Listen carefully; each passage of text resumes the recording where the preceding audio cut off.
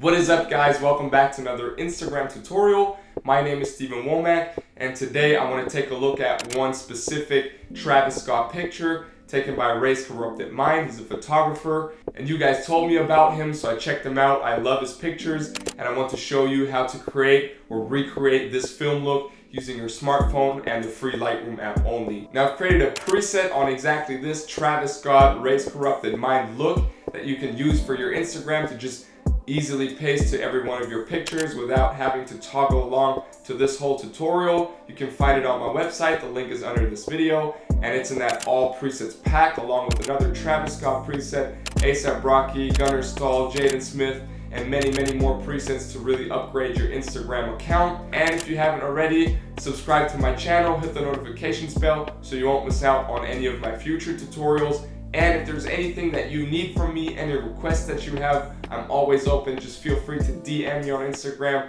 at Steven Wommack is my handle, or you could also just comment under this video. Now I've said enough, let's jump right into this tutorial. You will need your smartphone, of course, and the first thing I want you to do is open up that free Lightroom app.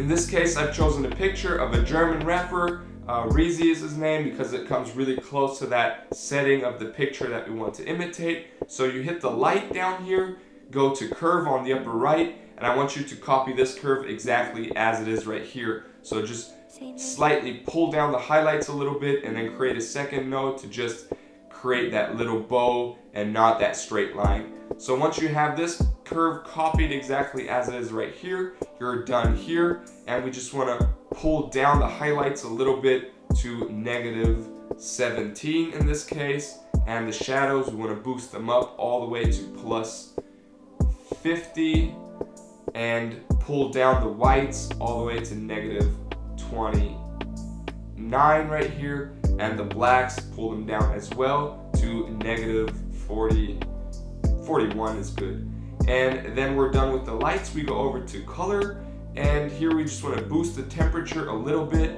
to plus 17 to add that orange tint to the uh, picture. And for the tint we just want to hit plus one to go to that purple a little bit. And then the saturation we just want to pull down just slightly to negative 14 right here. So we scroll up hit the color mix on the upper right. And for the red tones we just want to boost the hue to plus 21 in this case and leave the saturation and luminance as they are the orange tones we want to pull the hue down to negative 6 or 5 and boost the saturation all the way to plus 51. Now depending on your skin tone, uh, you might just change the, the numbers for the orange tones a little bit, but in this case, these are the numbers. And luminance, we just want to boost that up to plus 70 to really brighten that up. And the yellow tones, we pull down the hue to negative 40, 41 right here. And now this is really gonna affect uh, the plants in the background. We want them to look uh, really orange or yellow, like on that um, Travis Scott Ray's Corrupted Mind picture. So the saturation, we wanna boost up all the way to plus 54. And the luminance as well all the way up to plus 44 right here. Now the green tones, same thing, affecting the plants in the background. Pull the hue all the way down to negative 100 to get them really orange and boost the saturation all the way to plus 71 in this case and boost the luminance as well all the way to plus 80 84 is good. Now the aquatones, we want to pull all the way down for the hue to negative 100 and pull down the saturation to negative 25 and the luminance we want to boost all the way up to plus 100 right here and now the plants in the background are really as yellow and orange as it gets. So the blue tones we want to boost the hue to plus 18 right here or 17.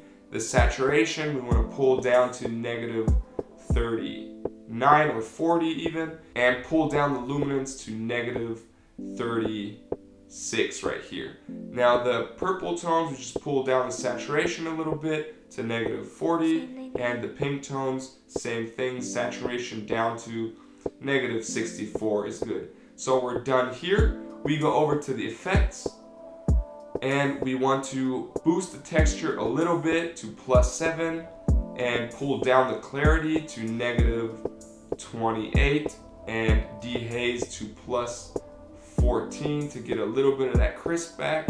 And then we want to add a lot of grain. So we pull the grain slider up to 21 right here. And um, that should look almost perfect. Now we just want to get the colors a little more into that orange area. So we hit the split toning on the upper right. And for the highlight hue, we want to pull over to a hue of 40, around 45 and saturation of 31 is good.